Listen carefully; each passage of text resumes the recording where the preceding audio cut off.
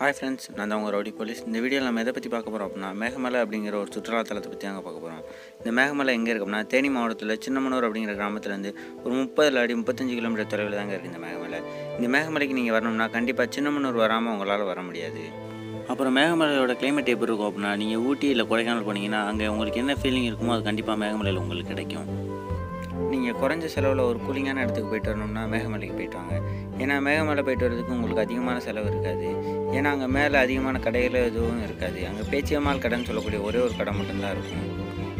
ஆனால் இங்கே கடை மட்டும்தான் அங்கே கம்மி. சுற்றி பார்க்குறதுக்கு எவ்வளோ இடங்கள் இருக்குது வாங்க இந்த மேகமலைக்கு எப்படி போகலாம் அப்படிங்கிறத பற்றி பார்க்கலாம். நீங்கள் சின்னமனூர் வந்து தான் மேகமலை போக முடியும்னு சொல்லியிருந்தேன். அது மாதிரி நீங்கள் சின்னமனூர் வந்த பிறகு உங்களுக்கு இங்கேருந்து பஸ்ஸு கூட அவைலபிளாக இருக்குது ஆனால் என்ன கேட்டால் நீங்கள் பைக்கில் போங்கன்னு தான் சொல்லுவேன். அப்படி நீங்கள் பைக்கில் போகிறீங்க அப்படின்னா கண்டிப்பாக வந்து ஹெல்மெட் இருக்கணுங்க. ஹெல்மெட் இல்லைனா மலை ஏறுறதுக்கு முன்னாடி வந்து தென்பள்ளின்னு ஒரு ஊர் இருக்கும். அங்கே போயிட்டு ஹெல்மெட் ரெண்டல் எடுத்துக்கோங்க. ஏன்னா மலை ஏறதுக்கு முன்னாடி ஒரு செக் போஸ்ட் இருக்கும். அங்கே அந்த செக் போஸ்ட்டில் நீங்கள் ஹெல்மெட் போட்டிருக்கீங்களான்னு செக் பண்ணுவாங்க. அப்படி ஹெல்மெட் போட்டிருந்தீங்கன்னா அடுத்து நீங்கள் எங்கேருந்து வரீங்க என்னங்கிற டீட்டெயிலாம் வாங்கி வச்சுட்டு முடிஞ்ச அளவுக்கு ஆறு மணிக்குள்ளே வந்துடுங்க அப்படி இல்லாட்டி ஒரு நாள் ஸ்டே பண்ணிவிட்டு மறுநாள் வாங்கன்னு சொல்லிவிட்டு உங்களை அனுப்பிடுவாங்க அப்படி நீங்கள் ஸ்டே பண்ணுறதா இருந்தால் அங்கே நிறைய இடங்கள் ஸ்டே பண்ணுறது இருக்குது ஆனால் ஒரு சில யூடியூப் சேனலில் என்ன சொல்கிறாங்க அப்படின்னா அங்கே இருக்க இடமெல்லாம் ரொம்ப முக்கியாக இருக்குது அப்படின்னு சொல்கிறாங்க அப்படிலாம் இல்லைங்க. அங்கே நல்ல இடங்களும் இருக்குது நீங்கள் கொஞ்சம் தேடி பார்த்தீங்கன்னா உங்களுக்கு ஏற்ற மாதிரி ஒரு இடத்துல போயிட்டு நீங்கள் ஸ்டே பண்ணிக்கலாம். ஓகே நீங்கள் இப்போ செக் போஸ்ட்லேருந்து கிளம்பினோடனே ஒரு பத்து பன்னெண்டு கிலோமீட்டருக்கு வெறும் மலை மட்டும்தாங்க இருக்கும். அந்த மலையில் நீங்கள் அப்படியே ஏறிட்டு போனீங்கன்னா வெறும் காடு மாதிரி தாங்க இருக்கும். அந்த இதெல்லாம் கொஞ்சம் தூரம் பன்னெண்டு பத்து கிலோமீட்டர் தாண்டினதுக்கப்புறம் வந்து தேயிலை தோட்டம்லாம் உங்களுக்கு வந்து கண்ணுக்கு தெரிய ஆரம்பிச்சிடும் அந்த தேயிலை தோட்டத்துக்கு மேலே அப்படியே மேகங்கள் அப்படியே மேந்துட்டு வரும். அதை பார்க்குறதுக்கு அவ்வளோ ஒரு அழகாக இருக்குங்க.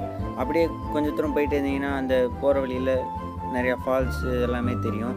சின்ன சின்னதாக மலையிலேருந்து தண்ணி விழுகிற மாதிரி எல்லாம் இடம் இருக்கும். அதெல்லாம் கொஞ்சம் நேரம் நின்று வியூ பண்ணிட்டு போனீங்க அப்படின்னா அடுத்து நீங்கள் போகக்கூடிய ஒரு இடம் வந்து ஹைவே வீஸுங்க அங்கே போனீங்கன்னா ஃபஸ்ட்டு ஒரு டேம் இருக்கும். அந்த டேமில் வந்து நீங்கள் நின்று நல்லா ஃபோட்டோ எடுத்து சுற்றி பார்த்துட்டு அப்புறம் ஒரு வியூ பாயிண்ட் இருக்கும். அந்த பக்கத்துலேயே ஒரு சின்னதாக லேக் இருக்கும். அங்கெல்லாம் சுற்றி பார்த்துட்டு அப்படியே டேன் பண்ணீங்க அப்படின்னா அவனுக்குள்ளே பேச்சியம்மாள் கடை அப்படிங்கிற கடை இருக்கும். மொத்த மேகமலையிலே இந்த ஒரு கடை மட்டும்தாங்க இருக்குது இங்கே தான் நீங்கள் டீ சா எல்லாமே சாப்பிட்டாகணும். அதனால் முன்னக்கூட்டியே நீங்கள் வந்து சாப்பாடு எதுவும் வேணும் அதாவது நான்வெஜ் ஐட்டம் வேணும் அப்படின்னா நீங்கள் மலை ஏறினோடனே ஹைவே வீஸ் டேம் எல்லாத்தையும் பார்த்த நீங்கள் அடுத்த இடத்துக்கு போகிறதுக்கு முன்னாடி இந்த கடையில் வந்து சொல்லிட்டு போயிருங்க. நீங்கள் சொல்லிட்டீங்க அப்படின்னா அவங்க அதுக்கு தந்தாப்புல ரெடி பண்ணி வச்சுருவாங்க. அவங்க அங்கே சாப்பாடு ரெடி பண்ணி வைக்கவங்களையும் நீங்கள் ஒரு டீயை சாப்பிட்டு அப்படியே நீங்கள் சுற்றி பார்க்க ஆரம்பிச்சிருங்க. என்ன தான் சுற்றி தேயிலை தோட்டமாக இருந்தாலும் அங்கே கொடுக்குற டீ கொஞ்சம் ஸ்மாராக தாங்க இருக்கும். அடுத்து நீங்கள் அப்படியே அங்கேருந்து பைக் எடுத்து அப்படியே போனீங்கன்னா அடுத்து நீங்கள் போகக்கூடிய இடத்துல ஒரு லேக் வரும். அந்த லேக்குக்கு மேலே வந்து ஒரு பிரிட்ஜ் இருக்கும். அந்த பிரிட்ஜ் மேலே நீங்கள் நல்லா வியூ பண்ணிவிட்டு அப்படியே என்ஜாய் பண்ணி ஜாலியாக ஃபோட்டோ எடுத்துகிட்டு ஒரு ஒன் ஹவர் டைம் ஸ்பெண்ட் பண்ணுங்கள் அப்படியே அந்த இடத்துலேருந்து அப்படியே கொஞ்சம் கொஞ்சமாக மறுபடியும் மெதுவாக அப்படியே நகர்ந்து போக ஆரம்பிங்க. இது வரைக்கும் நீங்கள் இந்த ரோடில் தான் எப்போ ரொம்ப நீட்டாகவும் அழகாகவும் இருக்கும். ஆனால் இனிமேல் நீங்கள் போகக்கூடிய அந்த பிரிட்ஜிலேருந்து போகக்கூடிய ஒரு ஆறு கிலோமீட்டர் பார்த்தீங்கன்னா ரோடு ரொம்ப மோசமாக இருக்கும் ஏன் அப்படின்னா இப்போ தான் அந்த இடத்துல வந்து ரோடு போட்டுருக்காங்க அதனால் ஜல்லி இது மாதிரி தான் இருக்கும். கொஞ்சம் மழை பெஞ்சிருந்துச்சு அப்படின்னா நீங்கள் போகிற டைத்தில் வந்து சேரன்ஸ் இது மாதிரி தான் இருக்கும். முடிஞ்ச அளவுக்கு கொஞ்சம் பார்த்து கேர்ஃபுல்லாக பைக்கில் போகணும் அது மாதிரி நீங்கள் முடிஞ்ச அளவுக்கு அங்கே இருக்கிற எந்த ஒரு லேக்லேயுமே இறங்கி குளிக்க வேணாம். ஏன்னா அங்கே இருக்க எல்லா லேக்லேயுமே வந்து தண்ணி ரொம்ப சில்லுன்னு இருக்கும். அப்புறம் வந்து அந்த ஊர்க்காரங்க என்ன சொல்கிறாங்கன்னா அங்கே இருக்க தண்ணியெல்லாம் வந்து அட்டைங்க இருக்குன்னு சொல்கிறாங்க அதனால் முடிஞ்ச அளவுக்கு அங்கே இருக்க லேக்கில் வந்து இறங்கி குளிக்க வேணாம். அதையும் தாண்டி நான் கண்டிப்பாக குளிச்சு தான் ஆவேன் அப்படின்னா நம்ம ஒரு பிரிட்ஜில் நின்று வியூ பண்ணோம் பார்த்தீங்களா அதுக்கு கீழே வந்து அந்த ஊர் மக்கள் எல்லாமே குளிப்பாங்க. அங்கே நின்று நீங்களும் அவங்களோட குளிச்சுட்டு ஜாலியாக என்ஜாய் பண்ணிட்டு அப்புறம் மறுபடியும் பயணத்தை ஆரம்பிங்க.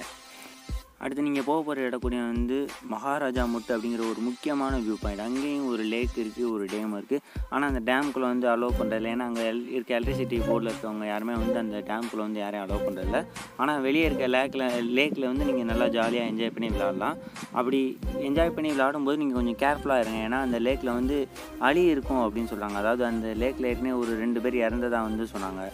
அது வந்து அங்கே வேலை பார்க்குற ஒரு அண்ணா சொன்னார். சரி நான் அவர் சொன்னதுக்கப்புறம் அப்படியே அந்த லேக்கை விட்டு நாங்களும் வெளியேறி வந்துட்டோம்.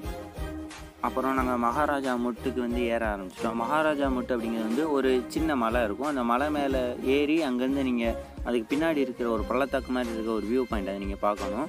அதுதான் அந்த மகாராஜா முட்டுங்கிற ஏரியா நீங்கள் அதுக்கு ஏறுறதுக்கு வந்து பைக்கில் போக முடியாது. அதனால் வந்து பைக்கெல்லாம் கீழே நிப்பாட்டிட்டு தான் ஏறாப்பில் இருக்கும்.